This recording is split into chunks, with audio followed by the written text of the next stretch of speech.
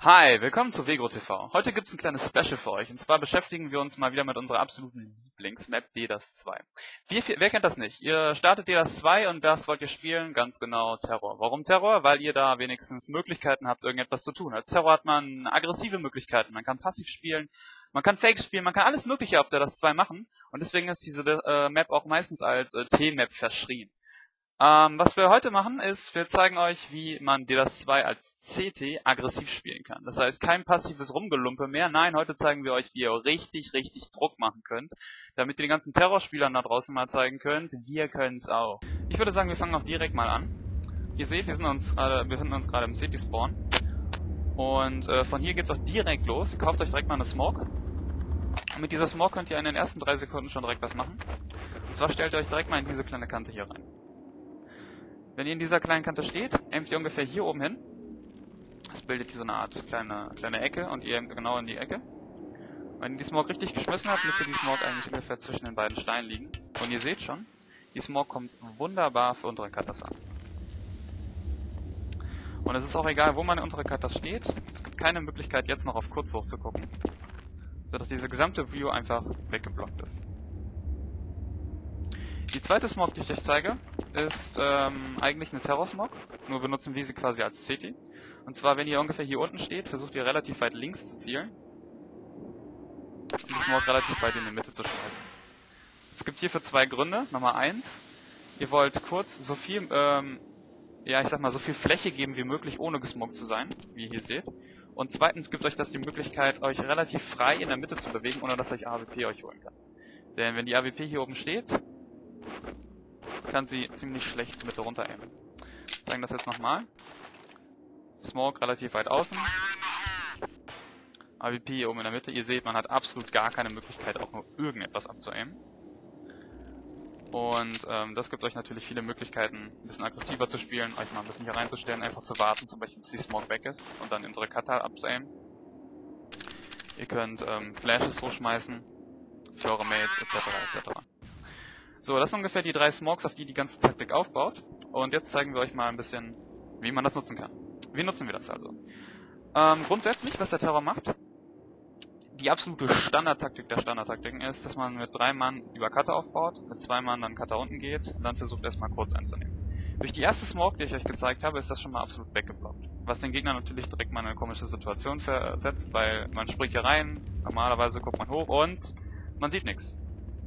Und das ist schon die erste Möglichkeit, ein bisschen Druck zu machen, dass man das direkt ausnutzt. Ähm, ein Beispiel ist, dass man kurz pusht und dann Doppel-HI runterschmeißt oder einfach mal unsere Cutter rusht, was auch immer.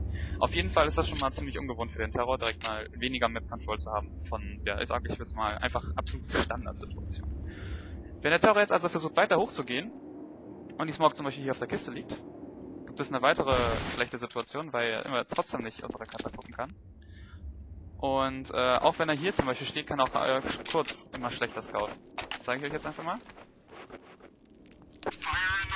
Hier ist die Smoke. man sieht kurz schlechter ein, also diese Ecke hier.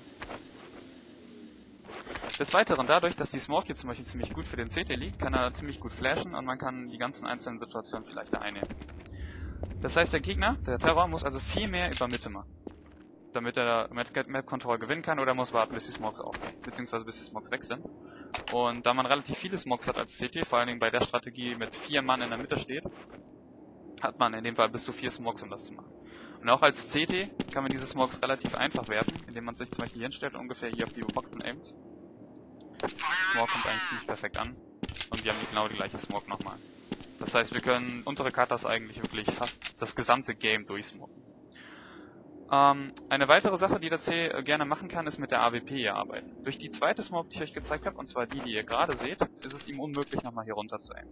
Eine etwas krassere Smoke hierfür wäre zum Beispiel, die man auch sehr, sehr safe werfen kann, ist, ihr stellt euch hier vorne an dieses Eck und ihr braucht euren eigenen Fixpunkt. Mein Fixpunkt ist zum Beispiel hier dieses kleine Loch und geht einfach so weit, bis die Wand ungefähr am Loch geht. Also wenn man das ein paar Mal gespielt hat, geht das eigentlich relativ schnell. Da hat man das Loch schnell gefunden. Und dann aimt ihr ungefähr hier hin zwischen diese beiden Kanten. Die Smoke sollte relativ gut für die AWP aufkommen. Ihr seht, die kommt zum Beispiel ziemlich perfekt auf. Wenn ich hier als AWP stehe, keine Möglichkeit irgendwas zu sehen. Und ich stehe schon auf der Kante hier. Hier ist es sogar noch schlimmer. Und dieses Smog kann man zum Beispiel nutzen, um einfach mal Mitte hoch zu rushen. Man kann äh, untere Katas reinrushen und sich mal ein bisschen mehr Control verschaffen. Ihr seht, jeder einzelne Smog baut darauf auf, dem Gegner von Anfang an schon die große, weite Sicht zu nehmen, die der Terror eigentlich auf der das 2 hat, hat. Das ist der Vorteil von des, des Terrorspielers und den nehmt ihr ihm direkt. Jetzt kommen wir mal äh, zum generellen Aufbau für das 2-2-1-Spiel. Ihr merkt, wenn wir zwei Leute hier auf kurz haben, die sich die ganze Zeit um Mitte kümmern, zwei Leute hier in Mitte haben, die sich auch die ganze Zeit um Mitte kümmern oder schnell auf B schieben können, und einen auf B, der nichts anderes macht als einfach nur abaimen, ist lang offen. Und das ist ein ziemlich großes Problem. Beziehungsweise ist es ein ziemlich großes Problem äh, für den CT, nicht für den Terror. Und der Terror kann, der könnte dann theoretisch einfach durchrennen. Dennoch muss man hierbei das Metagame zurzeit beachten. Das Metagame sieht ungefähr so aus, dass lang kaum noch wirklich gespielt wird. Bei ähm, großen A-Splits wird lang eigentlich gar nicht mehr wirklich beachtet. Höchstens geht man noch über kurz durch. C-Krass hat's vorgemacht, sie gehen mit ihrem Go mit drei Mann durch kurz und lassen einen Mann unten, einen Mann oben stehen. Oder Teams wie Very Games zum Beispiel spielen auch kaum noch über lang. Und äh, außer der wirkliche langen Go, den sie damals vorbereitet, vorbereitet haben, gehen sie fast nur noch über Mitte oder über kurz. Warum? Weil es einfach viel mehr Möglichkeiten gibt und es deswegen auch extrem safe ist. Es gibt sehr, sehr viele Flashes, man kann ziemlich gut mit Teamspiel äh, auf die einzelnen Positionen kommen. Und dadurch ist es für den Terror viel, viel angenehmer, über kurz oder über Mitte zu gehen, als über lang. Ein weiterer ziemlich großer Nachteil auf Lang ist, dass man lang ziemlich gut decken kann als CT. Viele, viele Teams haben jahrelang äh, lang als mit, Doppel, mit, äh, mit einer Doppeldeckung gedeckt. Dadurch wurde es immer und immer schwieriger, lang überhaupt irgendwie einzunehmen. Ähm, auch hier hat Sekras damals einen ziemlich guten Go vorbereitet mit Flashes. Auch die MTV Flash, die ich euch schon mal äh, gezeigt habe, ist in so einem Fall ziemlich gut. Aber alles in allem ist lang eigentlich ziemlich schlecht.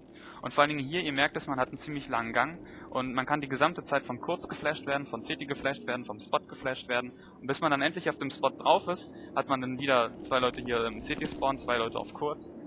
Und je nachdem wie der Gegner, wie das Schiebverhalten des CTs ist, kommt er auch schon wieder von hinten. Das heißt, ähm, lang ist zwar immer noch ähm, eine vernünftige Position, beziehungsweise ein vernünftiger Laufweg, den man nutzen kann, aber er wird einfach nicht mehr so lang genutzt. Ähnlich wie zum Beispiel Teppichgang äh, auf Entfernung. Und deswegen hat sich das Spiel mehr oder weniger in die Mitte verschoben. Des Weiteren ist die Mitte sehr, sehr wichtig für den Terror. Denn wenn er die Mitte kontrolliert, hat er die Möglichkeit, schnell zu schieben, er hat die Möglichkeit, viele Splits zu spielen.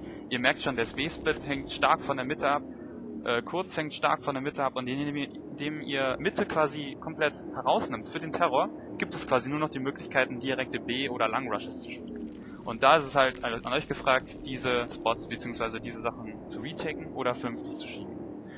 Und in dem Fall habt ihr den Gegner zum Beispiel schon mal ziemlich gut unter Druck gesetzt. Das heißt, wenn ihr es versucht, den Gegner als CT schon unter Druck zu setzen, versucht es einfach mal mit ähm, den Smokes. Versucht es mit guten Flashes und Teamspiel, den Gegner rauszunehmen. Denn wenn die, wenn die passenden Flashes ankommen, kann jeder von euch einfach mal mit einer AK vorstellen und die entsprechenden Spieler rausnehmen, ohne dass der Gegner viel groß ähm, Gegendruck machen kann. Und ja, ich hoffe, es hat euch gefallen. Ihr konntet ein bisschen was mitnehmen. Versucht es einfach mal und have fun.